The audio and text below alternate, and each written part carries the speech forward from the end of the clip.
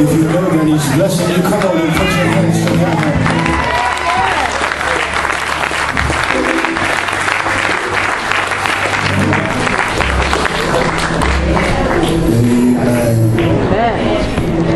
God is still in the blessing business. Amen. We're thankful to be here with you on today. We give honor to God who is the head of our lives, Pastor Smith, to Pastor Sales, to Reverend Ruffin, Reverend Matt, Amen, Reverend Kennedy, Amen, to all of these deacons. God bless you. And to all of you. We greet you with a great big God bless you. And we want to tell you thank you in advance for calling on such a small man as myself to come over to help you celebrate this Men's Day. Amen. I don't know about other men, but I am glad I am a man. Amen. And if I got to toot my own horn, I am a real man. Amen. And if you don't believe me, just ask my wife. There you go. Amen. Because I am married to the choir director. Amen.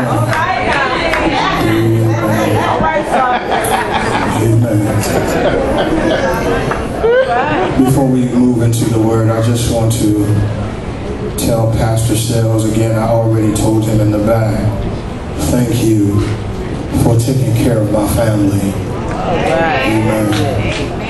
You know, a lot of preachers will be mad because their family didn't follow them, but I'm not mad. Amen. I'm glad they're in good hands. Amen. Amen. And I'm thankful. But I do want to do this. I want to tell Pastor Sales and to New Light that I am, and I don't know if this has been done in the history of the Baptist Church, but I am an honorary member of New Light. Amen. Amen. Pastor Sales is my pastor. Amen. Amen. I told him that if I would have gotten to him before I got to my pastor, amen, uh, I will be here with him. Amen. But because I can't, he has my undevoted faithfulness to him. If you need me, don't hesitate to call. Amen. Amen. Today, tomorrow, will be the third year of the death of my father. And this is always a good time for me because this was the first outing that I had with First Missionary here with you all. And I got to tell you, uh, I love to preach at this church because of the anointing spirit that's in this place. And I want you to understand something, New Light, and I'm talking to New Light. Don't lose what you got. Amen. Hold on to it as long as you can. Because we are living in a world where people go to church now for formality, and it has nothing to do with spirit. Some folks are here to find somebody to date. Some folks are here to sleep with somebody else's husband. Some folks are here to sleep with somebody else's wife. So some folk ain't here for the right reason. But hold on to the spirit that you have. Lord, help your child. Come on, son. Amen. Those of you that have your Bibles, go with us to the book of John, the 11th chapter. Amen. John, the 11th chapter. We're going to begin reading at the 41st to the 44th verse. Amen. John 11, 41 through 44. Amen. I promise y'all, I let Minister Matt come over to my church last week and he preached our Men's Day. Amen. And I had to go back into the church this morning and readjust it because he had left a wreck. But I promise, amen, that I will not do that to New Light. I won't be as indignant as he was. Amen. Amen. John 11, 41 through 44. 41 says, Then they took away the stone from the place where the dead was laid. And Jesus lifted up his eyes and said, Father, I thank thee that thou hast heard me. 42 said, And I knew that thou heardest me always, but because of the people which stand by, I said it, that they may believe that thou hast sent me. Verse 43 says, And when he thus had spoken, he cried with a loud voice, Lazarus, come forth. All right. The last verse says, And he that was dead came forth, bound hand and foot with grave clothes, and his face was bound about with a napkin. Jesus saith unto them, Loose him and let him go. Amen. You may be seated. All right, all right. Amen. If I can just, for just a good hot 10 minutes, just give me good hot 10 minutes. It can't be cold, it's got to be hot. I want to talk to you from this subject. Take off those dead man clothes. What? Take off those dead man clothes. Amen. My brothers and my sisters, I want you to know that if you have not taken inventory, I know that this afternoon is Men's Day and Women's Day was on this morning, amen. And I hope they were blessed to have a good time. But I want to talk to some men. Is there any real men in the house? Amen. Amen. I want to talk to you because I, I have noticed some things that are going wrong in our city. If you drive up and down the street, if you're walking up and down the street, if you're riding the RTA, however you're getting around, if you take inventory to our streets, there are a lot of young men who are wandering around with no goals and no destination in their eyes. If you were to look at them, you would look, and it's almost like you're looking through somebody who does not even have a soul. Amen. The one thing that I am thankful for is I am thankful for the men that God has placed into my life, those men that are still here and even those that have gone on to be with the Lord. I am thankful for them because it was men like them that kept me out of trouble. They couldn't do the job all the way they wanted to do it. There were some things that I just found my hands doing devilment in and they really couldn't control that. But I'm thankful that while they were around and while they gave me instruction, they allowed me to understand that a real man, number one, is not a man because of the things that he has. A man is not a man because of the amount of women that he has. A man is not a man because of the kind of car that he drives. A man is not a man because of what he has in a bank account. Amen. If you want to be just real about it, a man is a man because of the way he does and the way that he thinks. Amen. Because it really does not matter how much money you have in your bank account. If you're not taking care of your household and your children, you're still not a real man. Amen. It doesn't matter what kind of car you're driving. If you're not willing to pick somebody up on church on Sunday morning, you're really not a real man. It don't matter how many women you got because the reality of it is, I don't know about you, but I can only deal with one woman at a time. Any man that wants one, one more than one woman is really a fool, and he is not a man because one is really all you need. I wish I had a witness in the house. Is there anybody here that knows that a real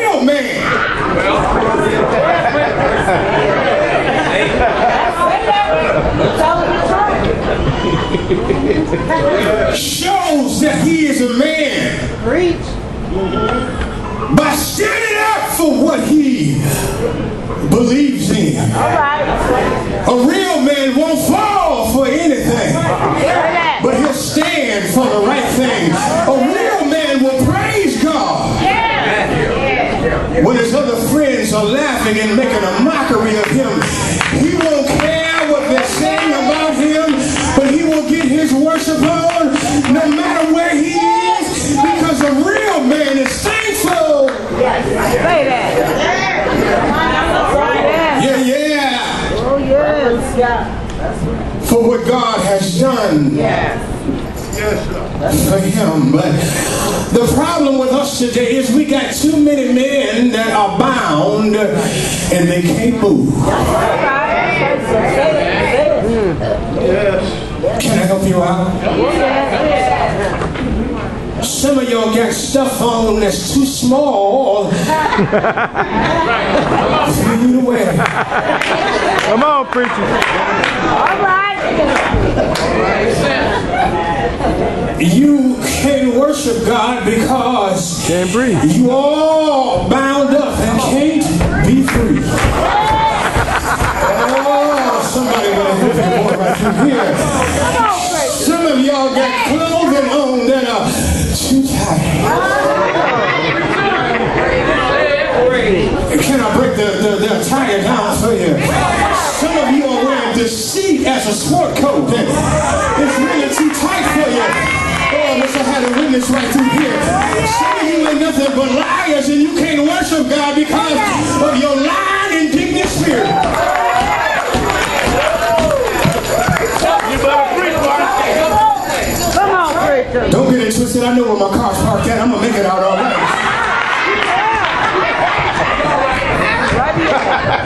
Some of you are wearing deceit and you want to worship a true and living God and you can't even be true to yourself.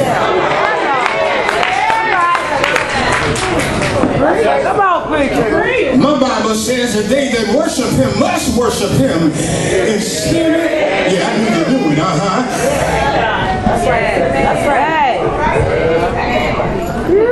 Take off that deceitful coat. And then some of us got our dress shirt on and it's too tight. And your dress shirt is called whoremonger.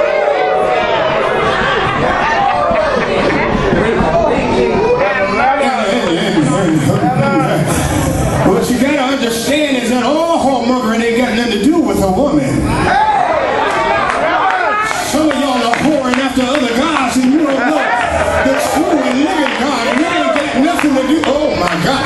Lord, you better help me right through here. Don't have anything to do with a woman, but some of you are whoring after materialistic stuff.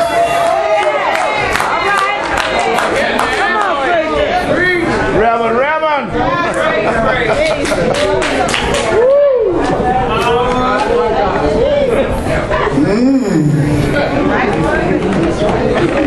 Some of you, some of you, some of you, quiet as hell. If they pulled your card at the door, before you enter in the church, you may got some people fooled some of the time. But you ain't got them down low brothers fooled none of the time.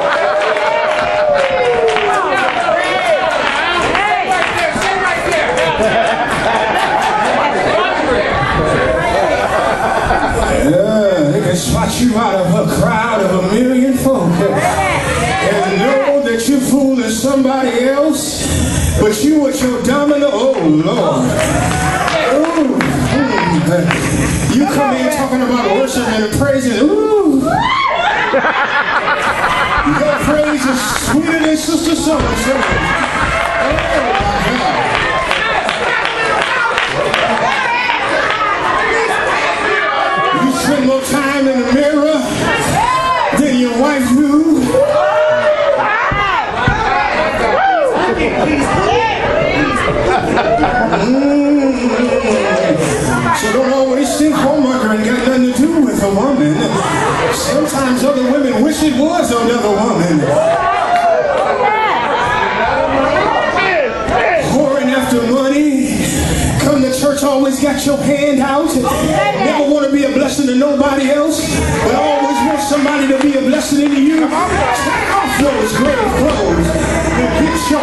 In order. Oh, yeah.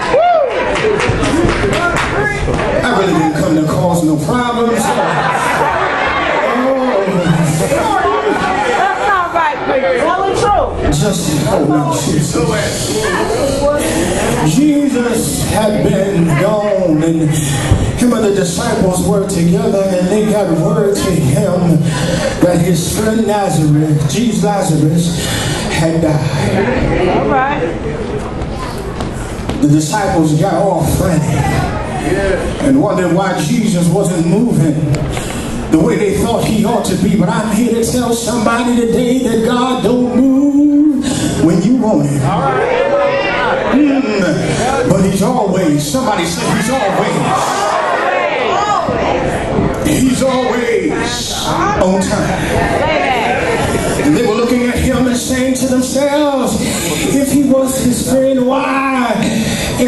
Jesus moving? But Jesus stayed right where he was.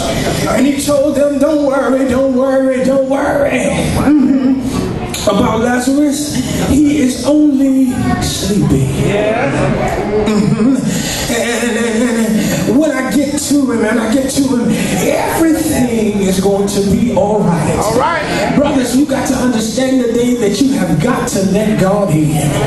You have got to let God work the He wants to work. Oh, and not let Him work the Him to work. Because your time is not God's time. But God, baby, He will work it out just in the nick of time. The only thing is you got to do is you got to stay right there. Stay on your knees and pray to Him. And ask Him to just give you some relief when pressure is on the rise. Y'all ever work with a pressure cooker? You can't take the pot off the pressure cooker while pressure is still in the pot. Too early, you're going to have a mess on your hands. Right.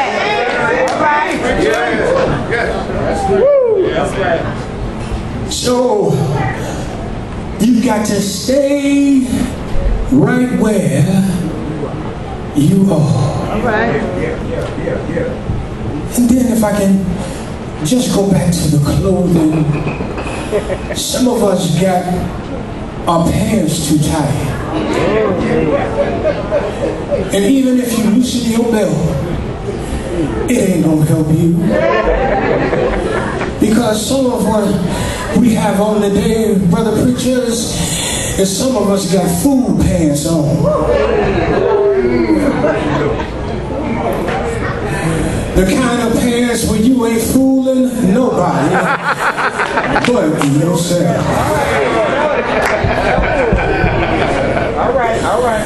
You got the food pants on so tight that you can't even walk to where God wants you to be. But you always say God don't never show up. You need to put yourself in position for him to find you. Get up with your lazy self and learn how to go to Bible class on Tuesday and Wednesday nights. Get up with your lazy self on, and learn how to be in Sunday school on Sunday morning. Oh, Get up with your lazy self and stop letting your wife go to work and you laying at home in the bed wondering what next Xbox game you gonna play. Oh, I wish I had a witness in the house. Do you know somebody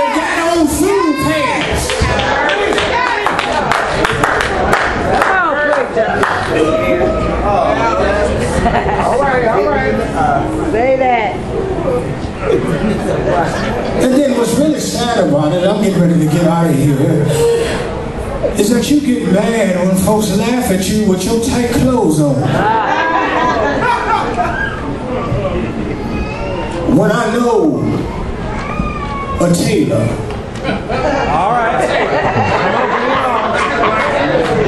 All right now, preacher. Come on. I'm ready for it. and somebody may say to yourself, Reverend, how do you know the tailor? When I was about 13 years old, I went into, didn't have KGs then. But I went into a heavenly place where I met a man named Jesus. And I understand, brothers, that some of you still are wearing tight clothes. But when I when I walked in to heaven's wardrobe closet, Jesus, said, somebody say Jesus. He met me at the opening of